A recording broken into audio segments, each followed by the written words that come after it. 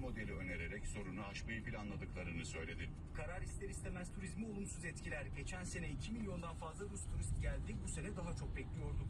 Ruslar da Türkiye'ye gelmeyi çok istiyor. Almanya ile yaptığımız işbirliği modelini önerdik. Türkiye, Almanya'ya tatil bölgelerindeki virüs verilerini günlük olarak açıklama, virüsle mücadelede alınan önlemlerle ilgili bilgilendirme ve otellere güvenli turizm sertifikası zorunluluğuna yönelik taahhütlerde bulunmuştu.